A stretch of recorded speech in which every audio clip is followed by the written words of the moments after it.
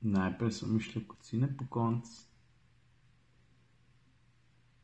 pa mi je šlo na jug.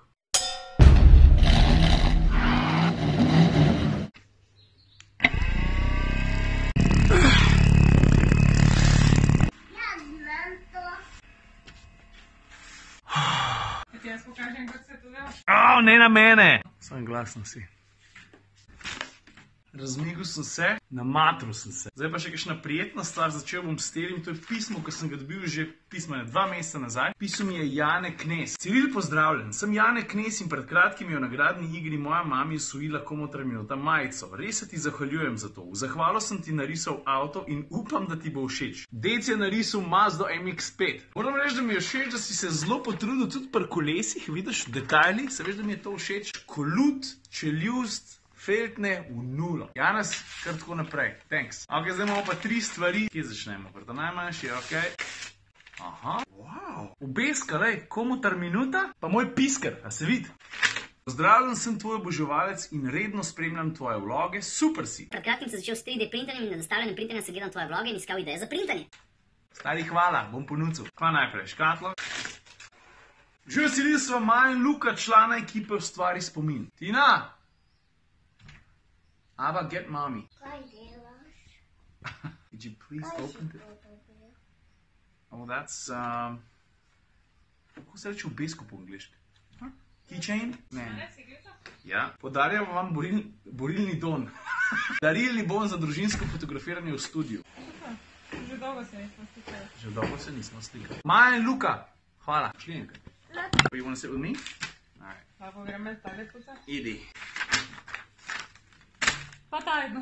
Zdaj da grem puca. Ne, fermacijo matra, sosedova katra. Pozdravljam, Ciril, pošiljam ti back on track trak za vrat. Gre za švedsko linijo izdelkov, ki zaradi keramičnih delcev v tkanini vrača telesno toploto v obliki infrardečih valov. Jaka, a veš, da me spet hoče neki zagrabati? Look at this. Kaj to? I have no idea yet. You put this on your neck? Tako? Hey, unboxing je postal družinski unboxing, jaz vidim. Go wipe your nose, go. You have boogers coming out of your face. Go. Ok, zdaj pičejo pa sta mala na sprehod, pol si moram pa bojda pogledati en video. Ne vem čisto točno zakaj gre. Radi bi pa od mene eno reakcijo, pa čist nič drugega mi niso povedali. Ok. A škaj imajo v Miklaužu? Razstava modelov ladij. Če koga zanima, ta zadeva bo tukaj v Miklaužu, v kulturnem domu do jutra, do 25. Mislim, ti, ki gledaš, še danes je. Stari, le kakšni detajli, se ti zabavaš.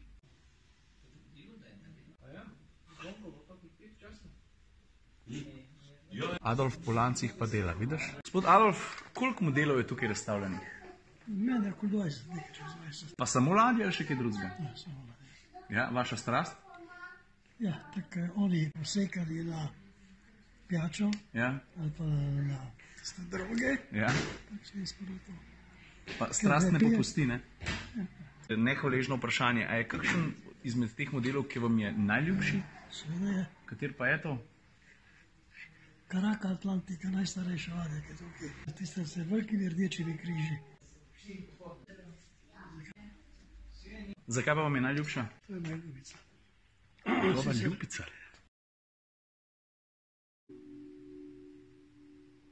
Zdravo, jaz sem Amadeja. Sem danes vaša vodja skritega escape rooma. Živjo.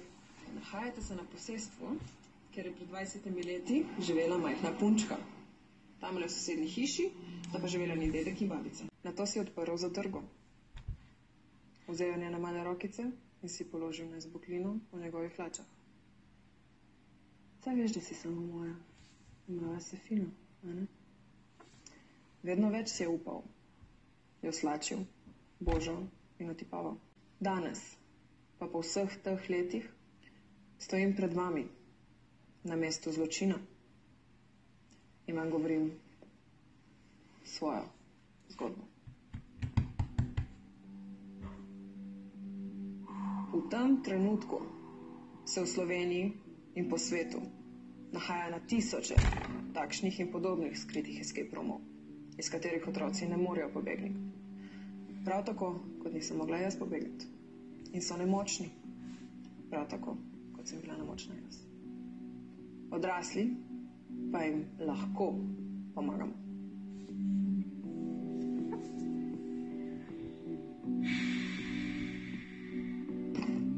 Fak, stari. No. Način video sem gledal. Najprej so mi šli kocine po koncu pa mi je šlo na jug. A veš, zlorabe otrok ne.